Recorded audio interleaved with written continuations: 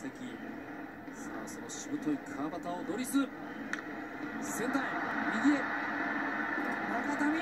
よし。やれやれ。接戦をものにしました。やれやれ。の山田を抑え込んで四死球7つ与えつつヤクルトを絞らせませんでした守備のいいプレーが目白押し阪神タイガーススワローズとの夏の戦い京セラドーム2連戦連勝しました。3対1です。決してこのロースコアではありますがドキドキ感がないというわけの試合ではなかったですね。いやーですね、最後も。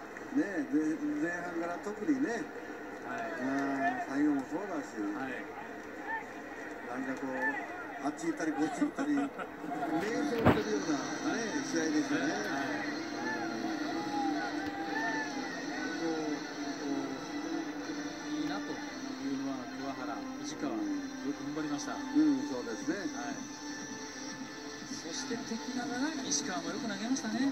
いやいやいや、阪神からするといや、もう本当に前半はもうほとんど石川のペースにはまってましたんで、ねもうして、まあね、あの小野がこういうような乱調だったですから、はいどうしてももう、あの展開としては向こうに転がりそうな展開でしたよね。はい。6つフォアボールを与えながらうんなんとか踏ん張ったのが要所要所の山田2回。うん、そうですね。まあまあ、山田とバレンティンに打たれなかったというところかなと思いますけどね。はい。うんこれで阪神タイガースは借金が6に減って、えーヤクルトとの差が縮まりました、まあ、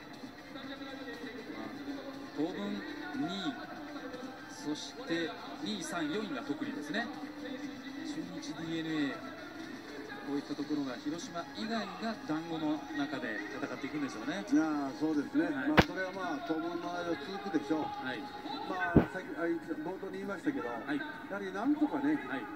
逃げている広島をね、はい。あのー、5球団で潰していかないと、はい。面白くないですよ、そうですね、ええそれちょっとを包囲網を作るようなローテーションをね、あー一時のね、我々の時代のその巨人はい。に対して、はい。そういう巨人にには絶対負けないでいこうと、はい。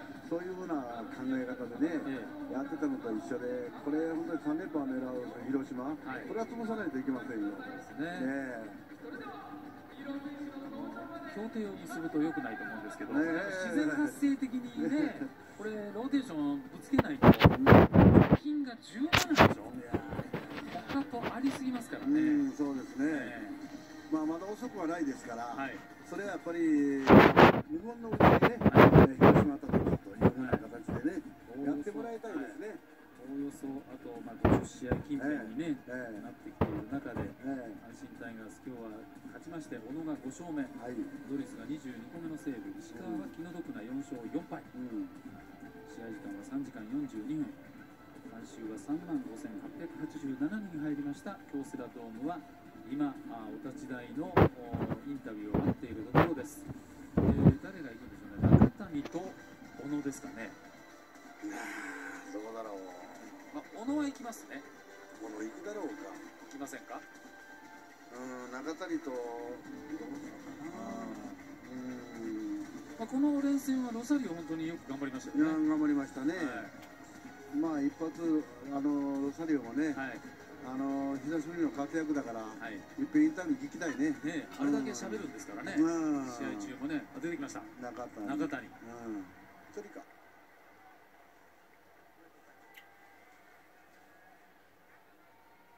放送席、放送席、そして京セラドームのタイガースファンの皆さん、ヒーローインタビューです。今日のヒーローは貴重なタイムリースリーベース、中谷選手です。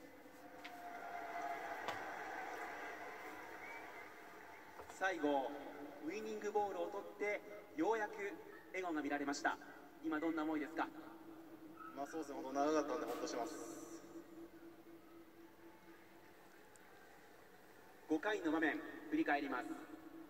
1点ビハインドで前のロサリオ選手がツーベース。どんな思いでバッターボックスに向かったんでしょうか？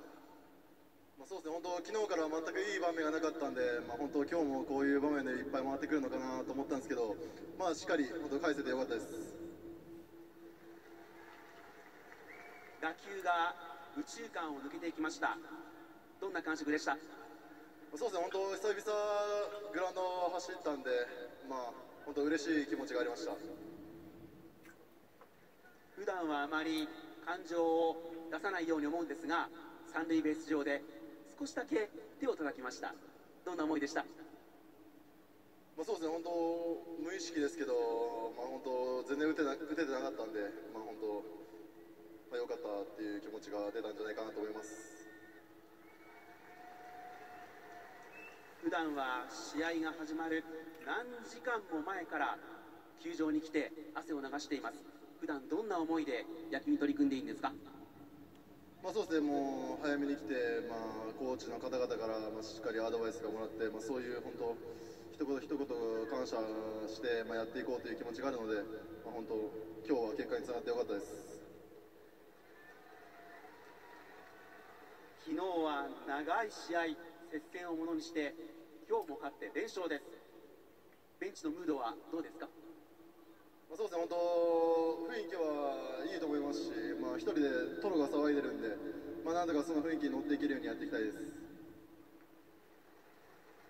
さあ、あさってからは東京ドームでジャイアンツ戦です。明日からの長期ロード、一言お願いします。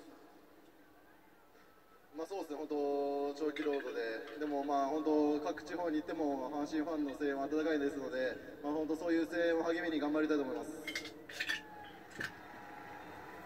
おめでとうございます。今日のヒーローは中谷選手でした。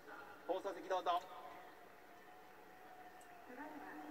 中谷選手のインタビューでした、まあ、昨日は不本意な、ね、フライアウト多かった、そして今日も第1打席は延長かなというフライでした、しかしようやく上田さんはあの時にロサリオがツーベースを打っていたので、最低限、右打ちの頭はあるだろうとおっしゃいました。いやそうですね、そういう、まあ、コンパクトな発想がね、うん。いい結果につながった可能性はありますよね。そうですね。あの結局いい1球目のその打席の初球に、はい、えーの姿を見ていると、ね。明らかに右打ちをして、えーはい。狙ってるとえいうふうな姿が見えたですよね。そうですね。だからこの頃あのその時の考え方というのは宇宙から狙いだなということですよね。ね、ねそして、インサイドへ構えていたのが石川がね、うん、うまく、うん、中谷が失投を捉えることができました、ね、そうですね、はい、それはあ本人の考え方なのか、